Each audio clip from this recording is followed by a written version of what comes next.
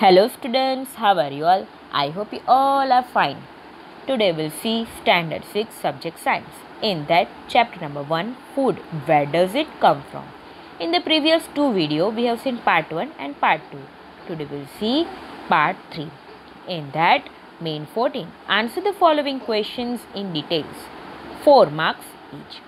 Question number 1 Discuss the variation in the food habits of different animals. Answer is the variation in the food habits of different animals as follows. Animals like cow, buffalo, and goat eat grass. They also eat leaves of different plants, oil, seeds, and cooked and other cooked food. Animals like cow, buffalo, and goat eat grass. They also eat leaves of different plants, oil seeds, and other cooked food. Birds eat food grains. Some birds eat small insects too. Wild animals like lion, tiger, and leopard kill other animals and eat. Butterflies and honeybee suck nectar from flowers. Now see question number 2. Explain the method of preparing sprouted moong. In that apparatus and materials are moong, water, bowl, piece of cloth. Now see the figure. Here the mung are there and in the besides sprouted bowl is given. Sprouted mung bowl is given. Procedure. Take some dry seeds of mung Put some seeds in a bowl filled with water. Leave it aside for a day. Now next day, drain the water completely. Wrap them with a piece of wet cloth and set aside. Observe the changes in the seeds the following day. Observation is a small white structure may have grown out of the seeds. If so, the seeds have sprouted. Conclusion is that the moong seeds with a small white structure grown from them are called sprouted moong. Now see the next page. Now see the activities.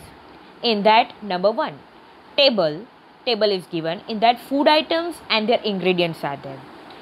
Now see the food item roti or chapati. What ingredients are used? With flour, atta or a water. Dal. In that ingredients are pulses, water, common salt, oil or a ghee, spices. Now rice. In that rice and a water. Brinjal curry. In a brinjal curry, what ingredients are used? Brinjal, oil or a ghee, spices, salt, water, etc. Now kheer. In that milk, rice and sugar idli, rice, urad pulses, salt and water. Dhokla in that rice, same thing. Urad pulses, salt and water. Pulao in that rice, different vegetables, peas, carrot, salt, water. Chicken curry, chicken, spices, oil or a ghee and a water. Puri, wheat flour, oil, salt and a water. Now see number 2 table and animals and their food. Here the name of the animals are given and in the food the animals eat. We have to write down the food that animals eat, particular animals eat. Now buffalo, what food they eat? Grass, oil cakes, hay, grains. Cat, cat eats small animals means rat, birds, milk. Rat, rat eat grains, cereals. Lion, the food of lion is meat of deer and other animals. Tiger. That food also meat of deer and other animals. Spider. Spider eats small insects. Bee. Mosquitoes. House lizard. House lizard eats small insects. Bee. Mosquitoes. Cow. The food of cow is grass, oil cakes, hay and grains. Hay means charo, ghas chara. Now see the human beings. The food of human beings is a cooked food, fruits, milk, etc. Some non-vegetarians human beings also eat other animals like fish, meat of hen, etc. Butterflies, eats nectar, pollen. Crow leftover food, puri, insects.